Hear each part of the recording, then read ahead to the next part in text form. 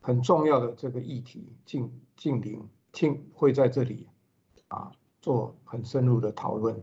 富邦产险争议连环爆，大家长富邦董事长蔡明忠照常主持工商协进会线上论坛，心情不受影响，但是保护们早就炸锅。强大民怨下，富邦不得不低头。十七日宣布，五月十四日前有收到续保通知且缴保费的保护，通通算数。换句话说，五月十四号以后拒绝重复投保，看似姿态放软，实则有淡书。这魔鬼藏在细节里。网络骂声不断，怒批富邦是富贵要人帮，理赔却跑光光。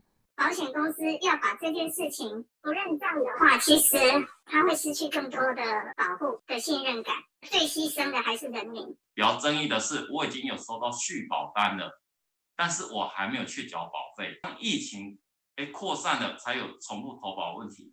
所以很明显的是，业者找到了相关的法条，想要类推或适用的方式。来拒绝民众投保，隔着荧幕也能感受保护怒火。这波防疫保单之乱，由富邦开出第一枪，拒绝重复投保后，星光产、第一产、旺旺有联纷纷跟进。现在十一家寿险业者甚至开启闭门会议，讨论用药类别。难道没吃新冠口服药就不能理赔吗？限定在某些药物的话，第一个会可能会造成药物的药荒。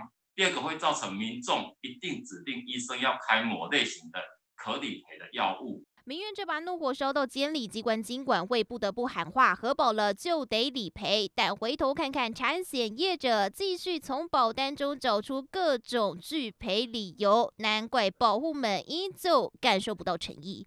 欢迎收看李文陈敏珍台北采访报道，请订阅、按赞、分享华语新闻 YouTube 频道，并且开启小铃铛。及时掌握全球时事与最新趋势。